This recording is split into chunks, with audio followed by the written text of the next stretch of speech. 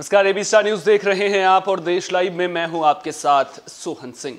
देश लाइव में सबसे पहले बात करेंगे पश्चिम बंगाल में हो रहे उपचुनाव की। दरअसल, पश्चिम बंगाल में आज भवानीपुर समेत तीन सीटों पर उपचुनाव के लिए वोटिंग की जा रही है। भवानीपुर सीट से मुख्यमंत्री ममता बनर्जी और बीजेपी उम्मीदवार प्रियंका टिब्रेवाल के बीच मुकाबला होगा। वहीं सीपीआईएम से सुरजीव विश्वास मैदान में है।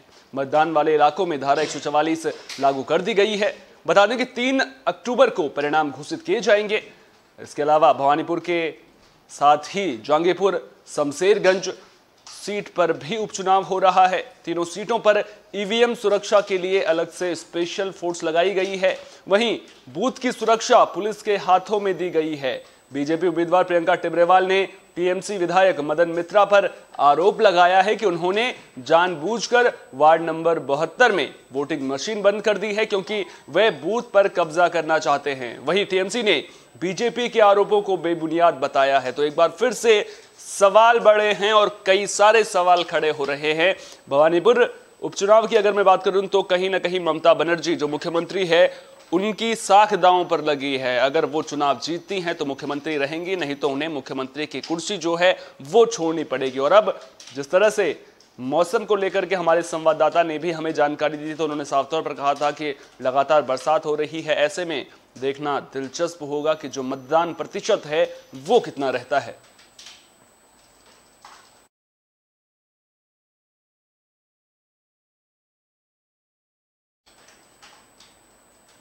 प्रधानमंत्री नरेंद्र मोदी की अगुवाई में बुधवार को हुई कैबिनेट बैठक में पीएम पोषण योजना पर मुहर लगी, लेकिन अब विपक्ष सरकार की इस योजना पर ही सवाल खड़े कर रहा है। सरकार की इस योजना का विपक्ष ने विरोध किया है।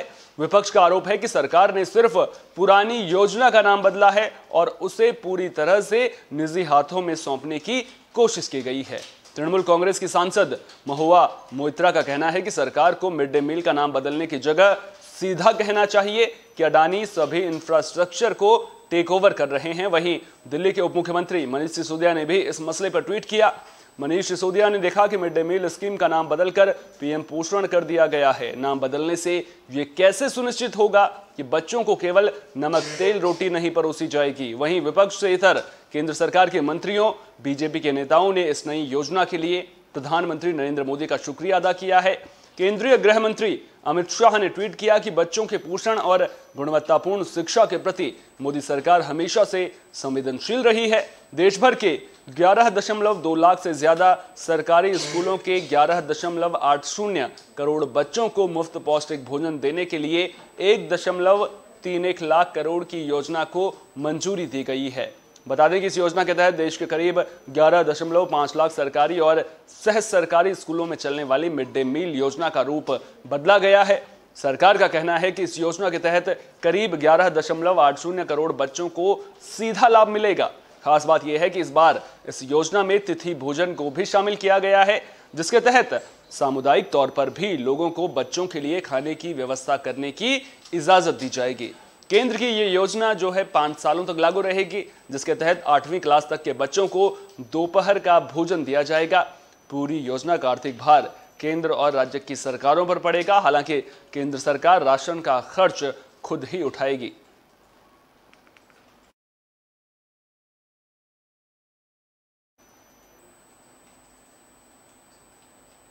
अखाड़ा परिषद के अध्यक्ष ब्रह्मलीन श्री महंत नरेंद्र गिरी के कथित सुसाइड नोट की गुत्थी भले ही ना सुलझी हो, लेकिन अखाड़े के पंच परमेश्वरों ने संत बलबीर गिरी को बागंबरी पीठ और लेटे हनुमान की गद्दी सौंपने पर सहमति दे दी है। श्री महंत नरेंद्र गिरी के सोडशी के बाद पाँच अक्टूबर को संत बलबीर गिरी की शर्तों के साथ ताजपोशी की जाएगी। निरंजनी अखाड़े के श्री महंत रविंद्रपुरी समेत पाँच संतों का सुपरवाइजरी बोर्ड बनेगा। बोर्ड ही बागंबरी पीठ और लेटे हनुमान मंदिर की संपत्ति से लेकर 30 बीघा ज़मीन की देखरेख करेगा। बिना बोर्ड की अनुमति के बलवीर गिरी को संपत्ति बेचने का अधिकार नहीं होगा। संन्यास परंपरा का उल्लंघन या फिर किसी भी तरह का विवाद होने पर बोर्ड को बलबीर गिरी को गद्दी से हटाने का अधिकार होगा। तो अखाड़े के पंच परमेश्वरों ने संत बलबीर गिरी को बाघम्बरी पीठ और लेटे हनुमान मंदिर की गद्दी सौंपने पर सहमति दे दी है। बलबीर गिरी की ताजपोशी की तैयारियाँ शुरू हो गई हैं। श्री महंत नरेंद्र गिरी की सोडशी के बाद 5 अक्टूबर को बलबीर गिरी की ताजपोशी होगी। इसमें सभी तेरह अखाड़ों के संत प्रयागराज पहुँचेंगे।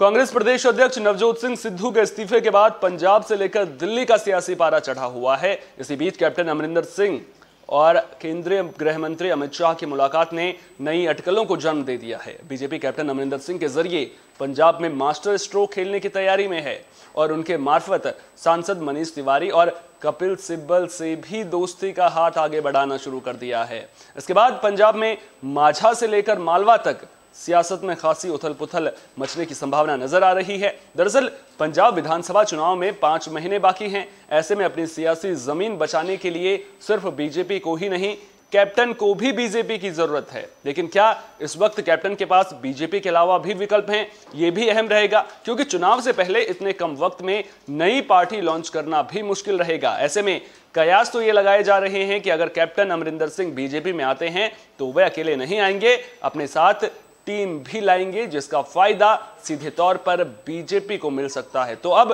कैप्टन का अगला कदम क्या होगा, इस पर सबकी नज़रें हैं, और क्या बीजेपी कैप्टन को अपने पाले में कर पाएगी, ये देखना भी दिलचस्प रहेगा।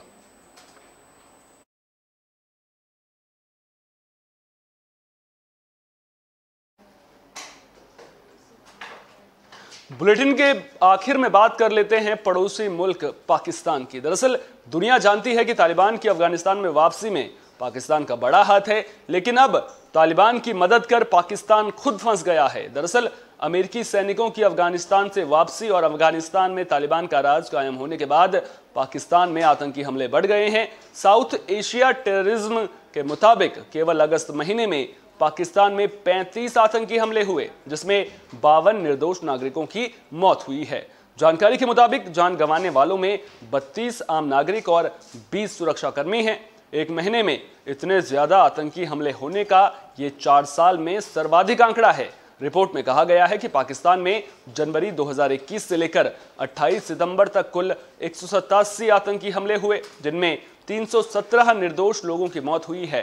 हालाँकि 2020 के दौरान एक सौ तिरानवे आतंकी हमले हुए थे, जिसमें तीन सौ, जो सैंतालीस निर्दोष लोग हैं, उनकी मौत हुई थी, तीन सौ सैंतालीस निर्दोष लोगों को जान गंवानी पड़ी थी। तालिबान ने इस्लामाबाद से वादा किया था कि अफगान की धरती का इस्तेमाल पाकिस्तान में आतंकवाद फैलाने के लिए नहीं किया जा सकेगा, लेकिन इसके बावजूद पाकिस्तान में आतंकी हमले बढ़ गए हैं।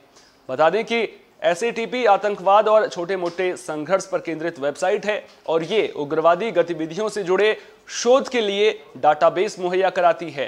एस के मुताबिक पाकिस्तान में बीते महीने में हुए अधिकतर आतंकी हमलों के लिए अकेले आतंकी संगठन तहरीक ए तालिबान पाकिस्तान यानी टीटीपी जिम्मेदार है। तालिबान की सरकार बनने के बाद से टीटीपी की स्थिति मज़बूत हुई है। इसके अलावा पाकिस्तान सरकार की मोस्ट वांटेड की लिस्ट में शामिल कई आतंकवादी अब अफ़गानिस्तान की जेलों से आज़ाद हो चुके हैं। इससे भी खतरा बढ़ गया है।